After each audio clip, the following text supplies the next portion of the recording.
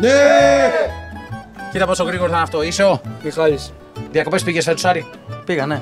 Αυτό είναι Ναι, έξυπνος. φυσικά. Το πήγε πάρα πολύ καλά αυτό. Καταρχής.